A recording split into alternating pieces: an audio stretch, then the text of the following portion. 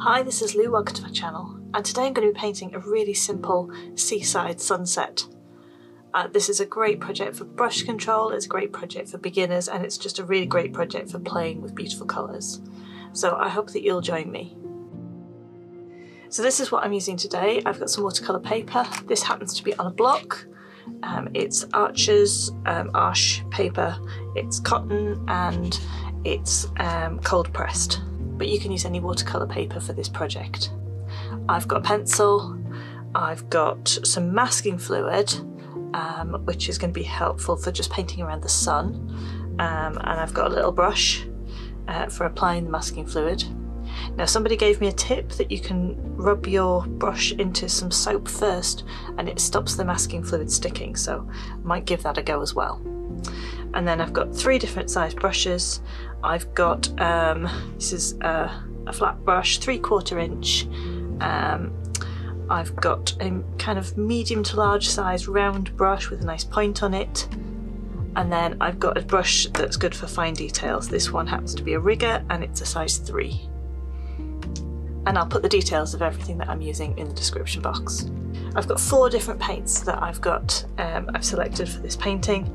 Um, I've got cerulean blue, I've got indanthrene blue, so a couple of different blues. The indanthrene blue is going to allow me to get some really dark colours and the cerulean blue's got a nice kind of granulation so it'll just give me a little bit of a difference between the blues. Uh, and then I've got some quinacridone magenta and some quinacridone gold. I'm going to be mixing them on this little plate which I'm going to use as a palette. And uh, the other thing that I've got today is I've just got a ruler because I'm going to draw a nice straight horizon line. So I'm going to start by just doing some very very simple drawing. So I'm going to decide on where my horizon line is going to go and I think maybe quite low, maybe a little lower than a third. Just going to use the ruler to make that nice and straight but you can draw against anything that's got a straight edge. And then I want a sun, so I'm going to place it right in the middle.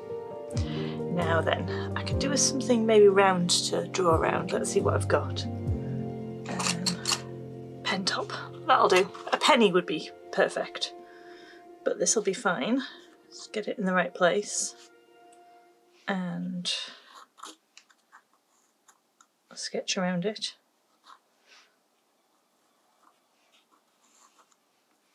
There we go. And then I'm going to draw like really stylized clouds. Um, so I want some like horizontal lines that go right away across the page. I want them to start out fairly close together and then I'm going to add clouds into them. So uh, this is a really, it's a different way of painting a sunset. So I'm going to paint all of the sections in kind of different, different bits. So I'm going to start by putting some clouds. I want more clouds on the edges and then I want less in the middle. Fewer in the middle. So let's start by drawing in some clouds here. Nice. Kind of fluffy clouds there. And then I just want a straight line. Sort of straight, doesn't have to be completely straight. All the way to the edge. And actually I think I might want something in the sea, so I think maybe this line here I'm going to bring up and put just a little um, kind of piece on here that is going to be an island. There we go. So I've got some interest in the picture, it's not completely kind of featureless. Um, and then I want more clouds on this side, so I'm going to bring in my clouds from this side again. Oh, I find it more difficult drawing right to left than left to right. There we go. And then let's have another line that comes in straight to start with. And then I add in some clouds there. It's going to go behind the sun and then maybe these ones go up on the right as well. And then I think I want some more like lines in here. I want it to look quite stripy. So I'm going to put in couple of little extra lines in there. Maybe another bank of cloud on that side. And then another stripe It's going to come behind that cloud. And then I can add in a bit of cloud here. And I'm just making these up up and down up and down nice and wiggly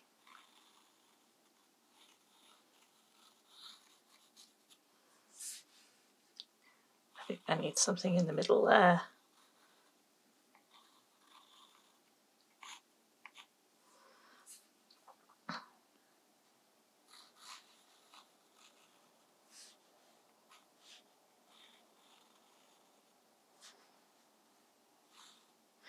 And then this one I'm going to come down.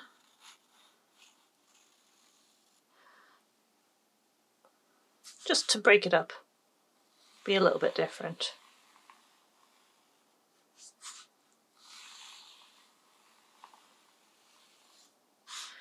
the top I'm going to have more stripes that go all the way across. Or maybe just have a little bit of something happening in them.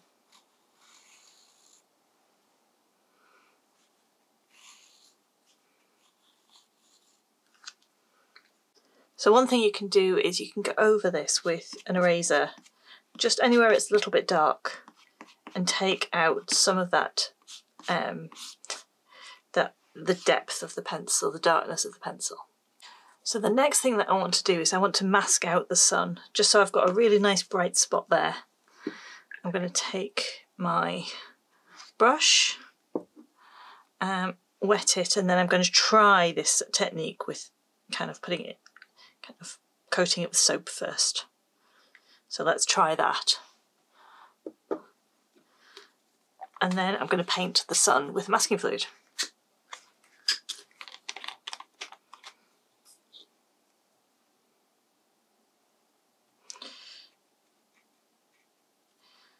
So let's cover the centre of it first and then spend a little time going around the edge.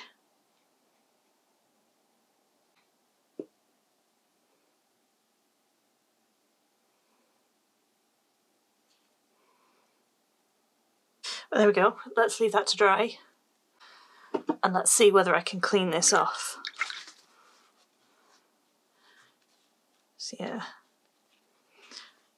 that seems to have worked quite nicely. So good tip there, thank you for that. While the masking fluid's drying, I can paint the first layer of the sea. And I'm going to do this wet in wet, so I'm going to coat the whole thing with water up to that horizon line.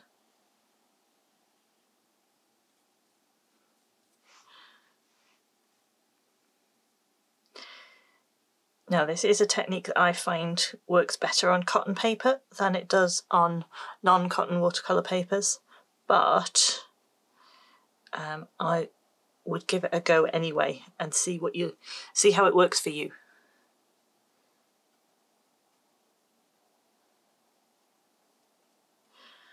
You might just need to work a little quicker. Or what I find is that there's more movement in the paint. Um, so you might need to kind of spend a little bit more time blending it.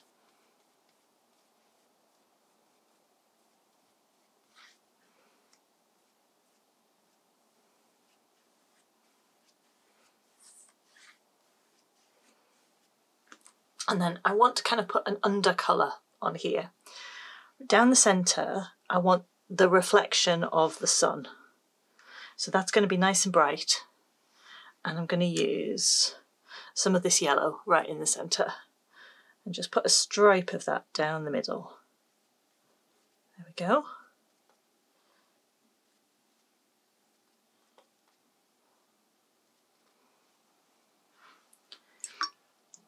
And then I want deep blue at the edges. So I'm going to use my darker blue. Oh, it doesn't need to be that dark because I am going to paint stuff over the top of it. So I'm going to put that on either side.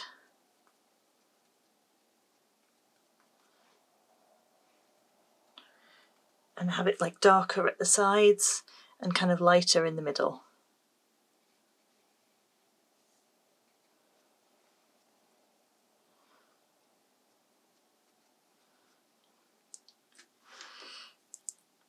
I'm going to put my cerulean blue next.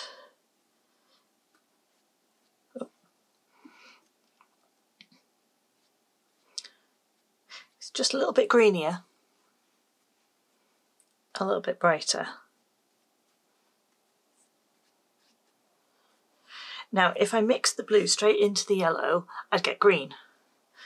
And while I do like green, that's not really what I want right now. So I'm going to take a little bit of the magenta, let's mix it into that blue and create like a purple.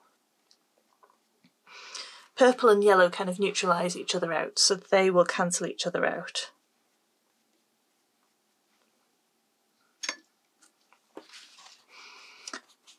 wash my brush so I can now do some blending backwards and forwards.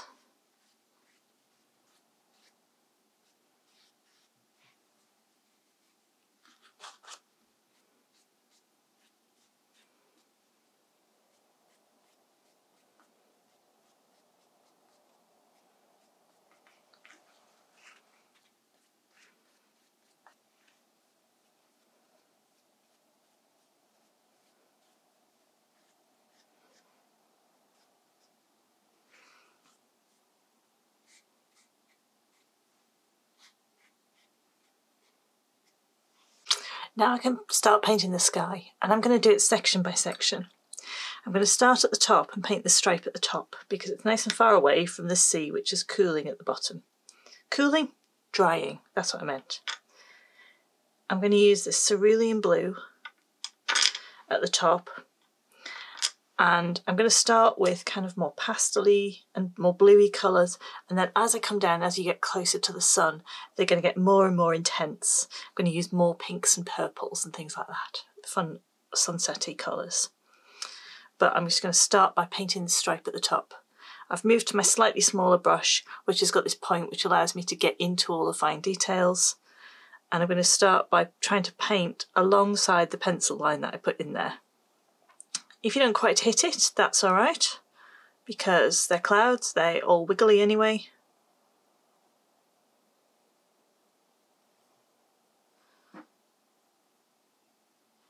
I just want to make sure I've got lots of nice kind of interesting rounded shapes in there. And then as a contrast, these straight lines are nice and kind of horizontal there and then I can add a little bit more colour and just paint in that whole section and blend everything together. Now over here this has started to dry a little bit. Just going to make sure I go right over the top of that bit that's dried just so I don't end up with any kind of harsh lines in there. I'm just going to use the point of my brush just to go into some of these areas and just define them a little bit more.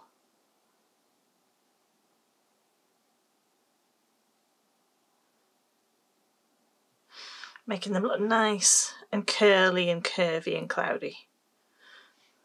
Okay, now I can pick another stripe somewhere further down the page and I can paint that in the same way. I'm not going to pick this one next to there because I don't want the colours to bleed. So I'm just going to move a little bit further down and pick another colour. So this one, I've got plenty of blue on my uh, palette, so if I just mix some of the uh, magenta into there, I'm going to get a nice kind of purpley colour, which will be good for one of these clouds a little bit further down.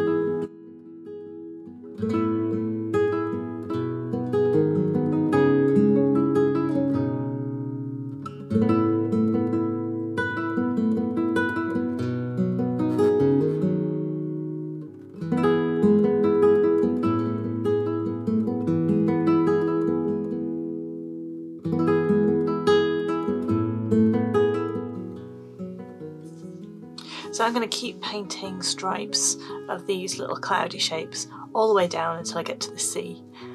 I'm going to leave the gaps and then I'll come back and fill them in later.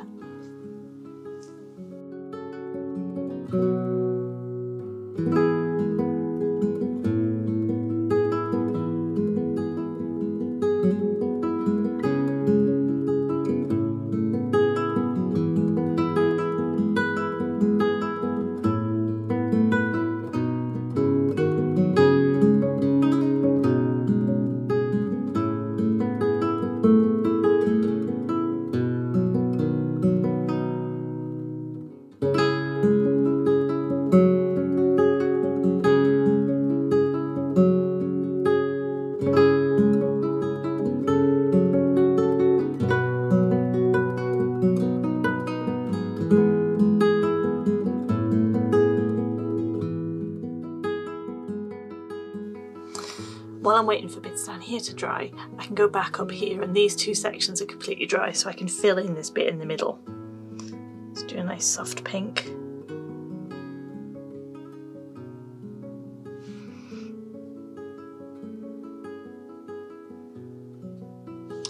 And if you go over some of the edges a little bit, it doesn't matter too much.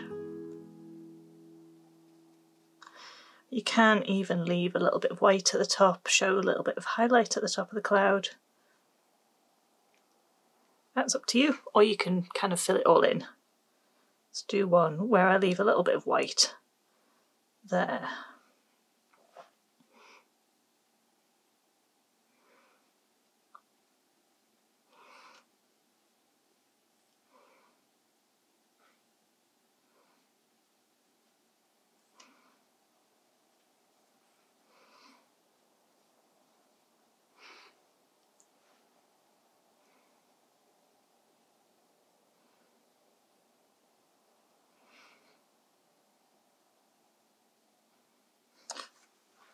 So you could kind of leave that bit. I think I'm going to fill it all in. I think it looks good, but I think um, I think I just want it to kind of be nice and clean, have nice clean lines around the edges. But it's up to you, it's personal preference.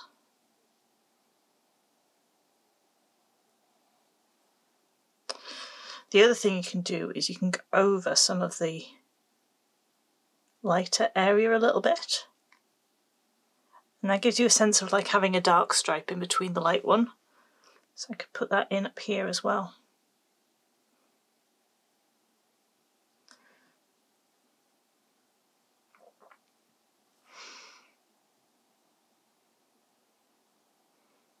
Let's try and get the top of that nice and straight.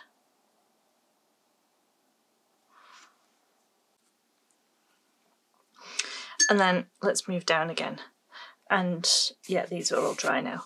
Behind the sun I want lighter areas in the center. So I want more of the I want more of the yellows. But they can get darker as they go out to the side. So let's paint this one. And I can just paint right over the sun because I've covered it in masking fluid.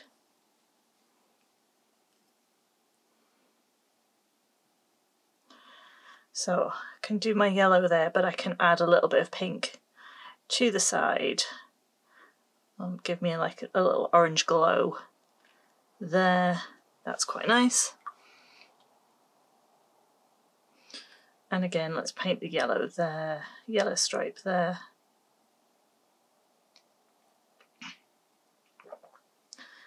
But let's add, actually, maybe let's add even a little bit of kind of blue in there. That's going to give me like a grey. Greeny grey kind of colour there.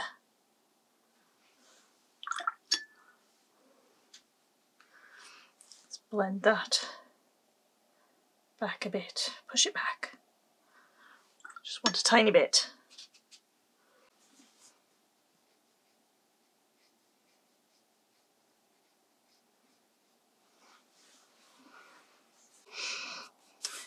I've got this island down here and I actually want this to be really dark so I want this to be the kind of the darkest blue I can get. So I may even do a couple of layers on this.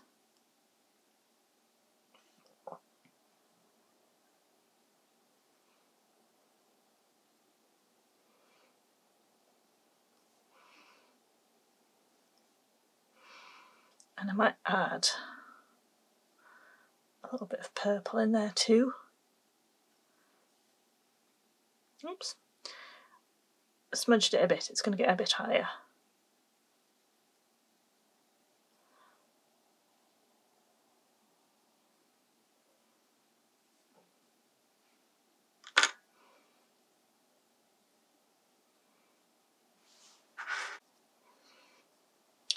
I can do this bit here and I think I'm going to do that a nice really bright pink.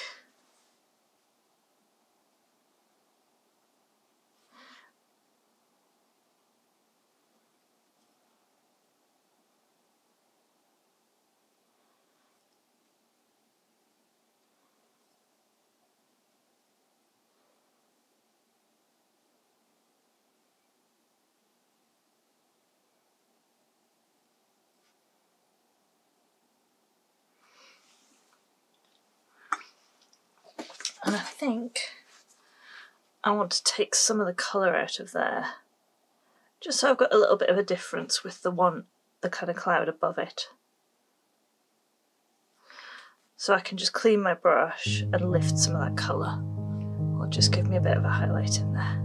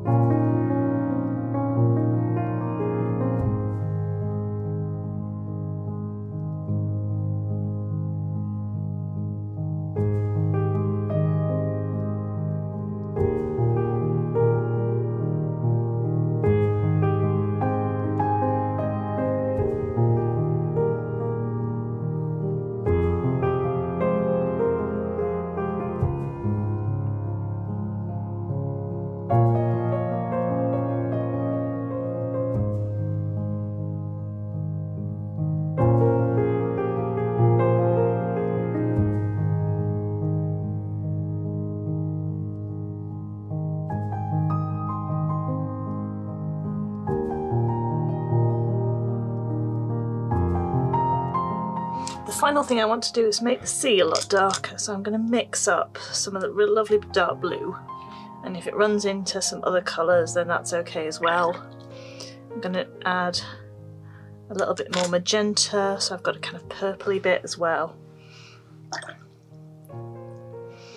Kind of want to do the same colours as I painted the island.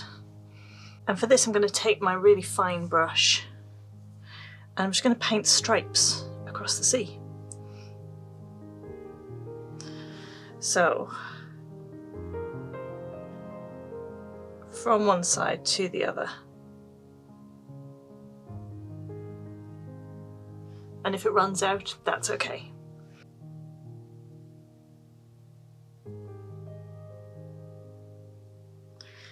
So I'm going to pick up a little bit more colour there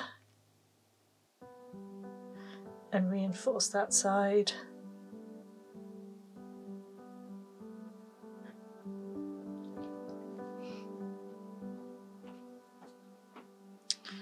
And if some of the lines break a little bit, that's okay as well. And if some of them are a little bit wobbly, that's okay too.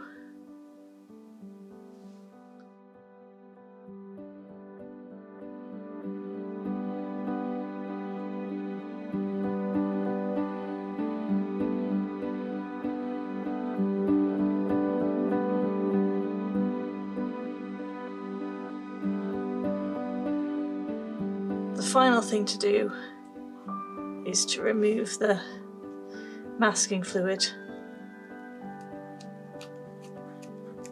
where your sun is.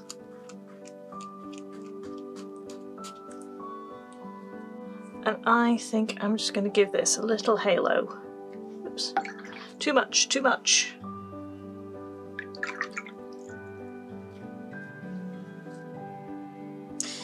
Gonna give this a little halo of gold.